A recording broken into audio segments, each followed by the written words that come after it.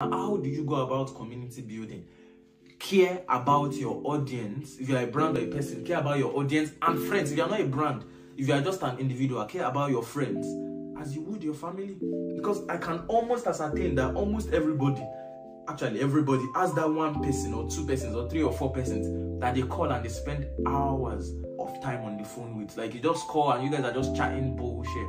But you don't mind because of about this person or not. That is the same level of attention and detail you should give to your social media and actually technically everything else in life because that's principles of life we won't go on to that. Care about your audience like, like you would your family reach out to them greet them. If you, if you in the morning like you would some of you would send memes to your friends just random memes like your closest friends.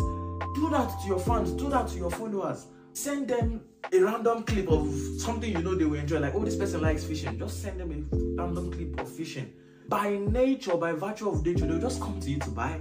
Because they feel now that okay you are my friend. You care about me. You give a fuck about what i what i care about. You see me. What does that in turn what does that turn back for you? Good good connections good um, affiliations money uh, status good things of life